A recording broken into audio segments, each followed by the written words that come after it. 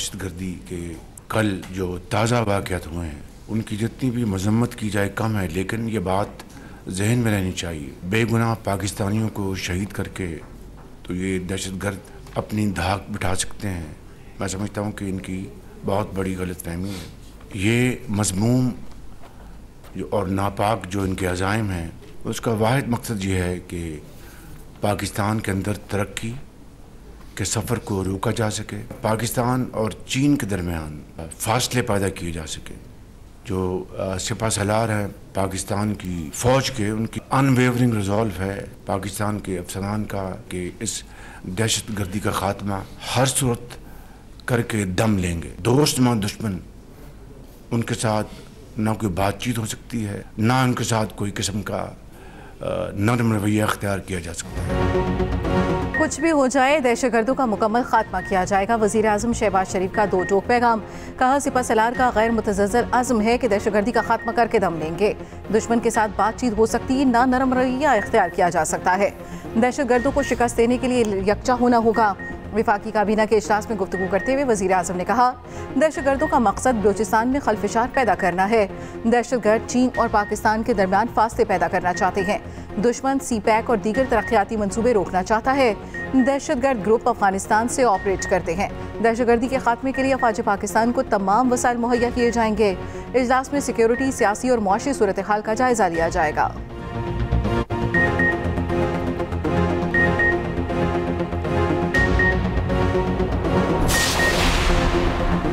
बलोचिस्तान के मुख्तलिफ़ इलाकों में दहशत गर्दों के साथ बहादुरी से लड़ते हुए शहीद अहलकारों की नमाज़ जनाजा अदा कर दी गई। नमाज़ जनाजा F C headquarters Quetta में अदा की गई। आई एस पी आर के मुताबिक नमाज़ जनाजा में वज़ीर अला सरफराज बुकटी और कमांडर बलोचिस्तान कोर ने भी शिरकत की। शहदा के जसद खाकी अपने आबाई इलाकों में रवाना कर दिए गए। बलोचिस्तान में दहशत गर्दी के बाद फोर्सेज की भरपूर जवाबी कार्रवाई। इक्कीस दहशत गर्द जहन्नम वासिल। फोर्सेज के दस जवान और कानून नाफिज करने वाले इदारे के चार अहलकार शहीद हुए। इलाके में फोर्सेज के क्लियरेंस ऑपरेशन जारी हैं।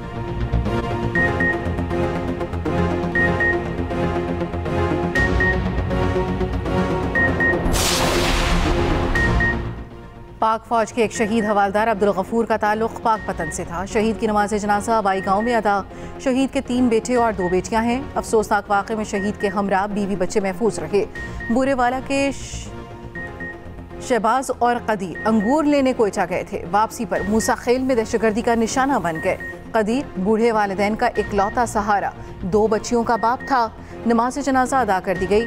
जामहक नौजवान आमिर सईद साहिवाल के नवाही गाँव में सपुर्द खाक।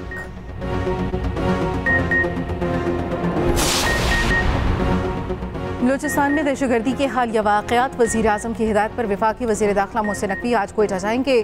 मोहसिन नकवी और वजी अला बलोचिस्तान सरफराज बुख्ची अमनुमान से मुतल इजलास की सदारत करेंगे। मोहसिन नकवी कहते हैं दहशत गर्द को दहशत गर्द की तरह ही जवाब देंगे। दहशत गर्दों को किसी सूरत नाराज़ बलोची नहीं कह सकते। वजी अला बलोचिस्तान सरफराज बुख्ची ने कहा दहशत गर्दों ने पाकिस्तानियों को मारा है। स्टेट के रिट को हर सूरत कायम रखा जाएगा।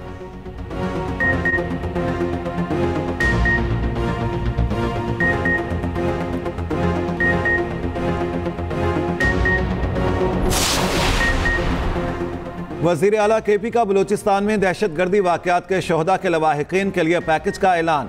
लवाहकिन को दस दस लाख माली इमदाद दी जाएगी। शुमाली वजरिस्तान में जाम बहक पाँच अफराद के लवाहकिन के लिए पैकेज का ऐलान। दहशत गर्दी के वाकत पर अली अमीन गंडापुर और सूबाई हुकूमत का सख्त रंजो गम का इजहार।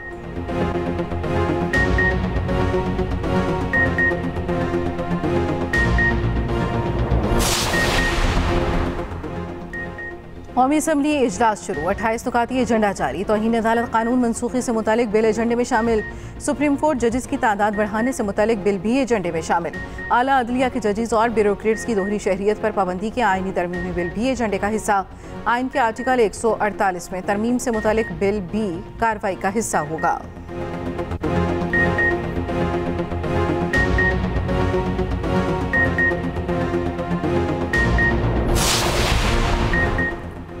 इलेक्शन कमीशन में PTI intra party election case की समाप्त। तहरीक इंसाफ की जानब से नए वकील उजैर भंडारी पेश। दलाल देते हुए बताया, हमने चार दरखास्तें दायर करवाई हैं। एफ़ आई ए ने छापा मारकर हमारा तमाम रिकॉर्ड जब्त कर लिया था। हमारे पास असल दस्तावेजात और इलेक्ट्रॉनिक रिकॉर्ड भी मौजूद नहीं। बैरिस्टर गोहर ने कहा, आपने वीडियो देखी है, हमारा वाटर डिस्पेंसर भी ले गए। उजैर भंडारी ने कहा, इलेक्शन कमीशन हिदायत दे तो रिकॉर्ड एफआईए से हासिल किया जा सकता है। इलेक्शन कमीशन ने एक सवालनामा भेजा था। पहला सवाल था कि तहरीक इंसाफ की अब क्या हैसियत है? उसका जवाब सुप्रीम कोर्ट के मखसूस नशस्तों से मुतालिक शॉर्ट ऑर्डर में आ गया है।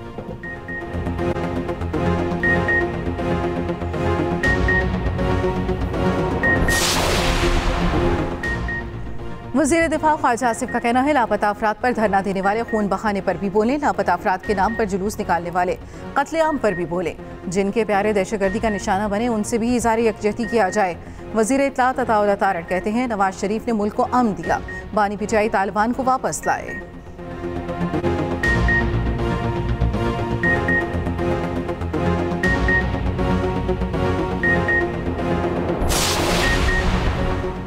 बानी पीटीआई किसी के साथ बैठने को तैयार नहीं, उनका रवैया पाकिस्तान की सियासत में खलल है। मुस्लिम लीग नून के रहनमा राना सनाउल्ला कहते हैं, जब वो हमारे खिलाफ मुकदमात बना रहे थे, हमने उस वक्त भी मिसाक जमहूरियत की बात की। बानी पीटीआई जब इकतदार में थे, वो तब भी किसी को कुछ नहीं समझते थे।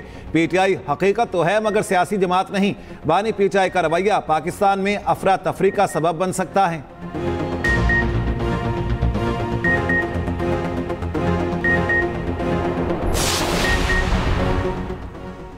चेयरमैन पीटीआई बैरिस्टर गोहर कहते हैं, इंटर पार्टी इलेक्शन का केस, इलेक्शन कमीशन में जेर अल्तवा था। पीटीआई ने तीसरी बार इंटर पार्टी इलेक्शन करवा के दस्तावेजा जमा कराए।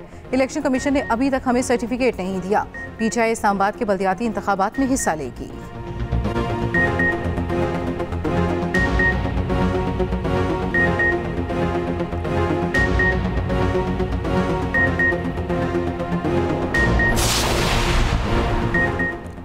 कराची के मुख्तलिफ़ इलाकों में सुबह सवेरे तेज बारिश, हैदराबाद, बदीन, उमरकोट, थरपारकट, सांगढ़ में भी बादल खुलकर बरसे।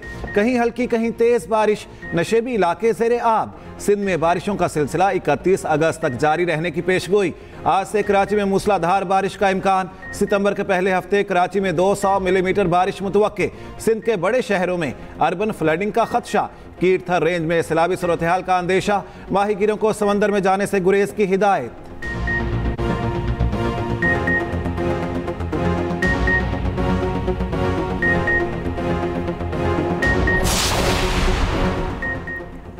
सीनियर वज़ीर सिंह शर्जील मेमन कहते हैं, बारिशों के पेश नज़र हुकूमत की तैयारियाँ मुकम्मल हैं। वज़ीर हाउस में रेन एमरजेंसी सेल कायम कर दिया गया। निकासी आप के लिए टाउन को ज़रूरी मशीनरी दी गई। तालीमी इदारे खुले या बंद रखने से मुतल गौर किया जा रहा है।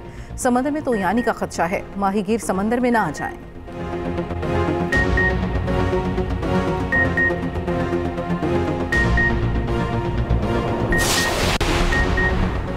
लाहौर समेत पंजाब के मुख्तलिफ़ शहरों में मौसम अबर आलूद। बारिश का इम्कान, इस्लामाबाद और गिरदोनवाह में बारिश, मौसम खुशगवार। बारिशों का सिलसिला 31 अगस्त तक जारी रहने का इम्कान। नथिया गली, बालाकोट, कागान और मजाफात में भी मूसलाधार बारिश। नदी नालों में तुगयानी, लिंक रोड जगह जगह से बंद। कोटली भिम्बर और गिरदोनवाह में कहीं हल्की, कहीं तेज बारिश। मुतद मकाम पर लैंड स्लाइडिंग नदी नालों में तुगयानी का खतरा।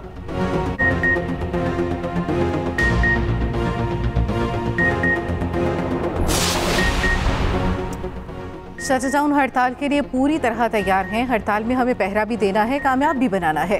हुक्मरानों को वाजे कर दें, अब मामला ऐसे नहीं चलेंगे। अमीर जमात इस्लामी कराची मनम ज़फ़र खान की न्यूज़ कॉन्फ्रेंस, कहा शहर में 50 मिलीमीटर बारिश से जगह जगह गड़े पड़ गए।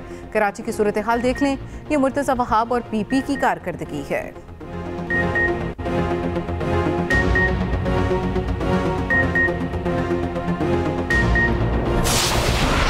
इसराइल के फ़लस्तीनियों पर मुजालिम जारी। मगरबी किनारे के नूर शम्स पनाह गुजीन कैंप पर हमला। पाँच फ़लस्तीनी शहीद। हिजबुल्लाह की कार्रवाई के जवाब में इसराइल का ड्रोन हमला। अमरीकी फ़ौजी इमदाद की नई खेप इसराइल पहुँच गई। सात अक्टूबर से अब तक अमरीका पचास हज़ार टन का फ़ौजी साजो सामान इसराइल पहुँचा चुका। फ़लस्तीनी सदर महमूद अब्बास वफ्द के हमरा सऊदी अरब पहुँच गए। किंग खालिद इंटरनेशनल एयरपोर्ट पर सऊदी वज़ीर खारजा ने इस्तकबाल किया। महमूद अब्बास की सऊदी वलीहद शहजादा मोहम्मद बिन सलमान से मुलाकात शेड्यूल। सऊदी अरब में अमरीकी सफीर माइकल रतनी का कहना है, अमरीका और सऊदी अरब तारीख साज माहदे के इंतहाई करीब पहुँच चुके हैं। इसराइल सऊदी ताल्लुक को मामूल पर लाना और इकतदी ताल्लुक का क़्याम भी माहदे का हिस्सा।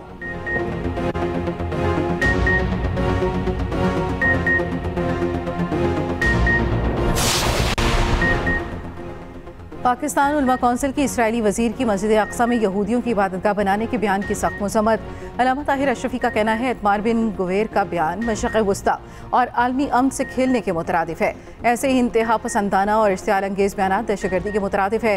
अकवा मुतहदा और ओ आई सी को फौरी अपना किरदार अदा करना चाहिए। आलमी बरदरी इसराइली मुजालिम ख़त्म कराने और आज़ाद फ़लस्तनी रियासत के क़्याम के लिए किरदार अदा करे।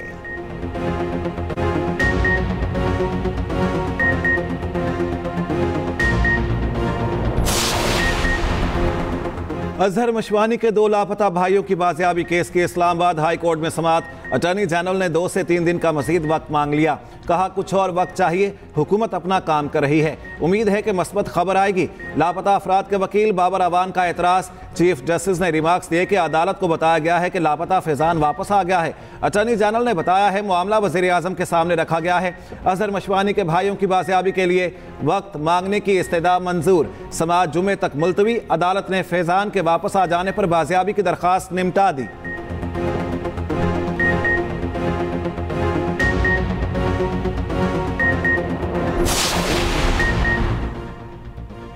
वजी अजम से चीन की पीपल्स लिबरेशन आर्मी की बड़ी अफवाज के कमांडर की मुलाकात, दो तरफा दिफाई और स्ट्रेटेजिक शराकदारी को मजीद बढ़ाने पर इतफाक दोनों ममालिक मुसल्ह अफवाज की सलाहियत बढ़ाने के लिए ताउन को मजीद वसत देने का आज़म। आर्मी चीफ से People's Liberation Army ground forces के कमांडर की मुलाकात। इलाकई सलामती, फौजी तरबियत और दो तरफा दिफाई ताउन बढ़ाने के इकदाम पर गुफ्तु जनास मुनी ने पाक फौज और पीपल्स लिबरेशन आर्मी के दरमियान मज़बूत ताल्लुक पर ज़ोर दिया। दो तरफा फौजी ताउन दोनों ममालिक के दरमियान बरदराना ताल्लुक की अलामत करार।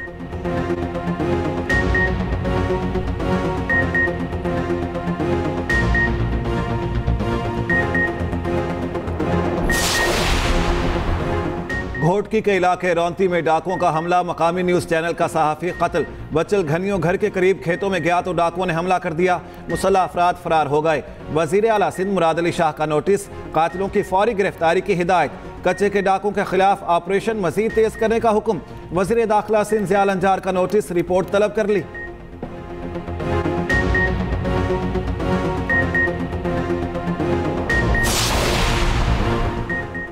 एथोपियन एयरलाइन का तैयारा भारत में उतरने के बजाय कराची पहुँच गया। बोइंग सात सौ सैंतीस कार्गो तैयारा। अदीस अबाबा से भारतीय शहर अहमदाबाद पहुँचा। तैयारे ने अहमदाबाद रनवे के करीब पहुँच गया, मगर लैंडिंग न कर सका। पायलट ने प्रवास का कराची की तरफ़ कर दिया। सवा घंटे के प्रवास के बाद तैयारे ने कराची एयरपोर्ट पर लैंडिंग की। बाद में तैयारा, कराची से अहमदाबाद रवाना।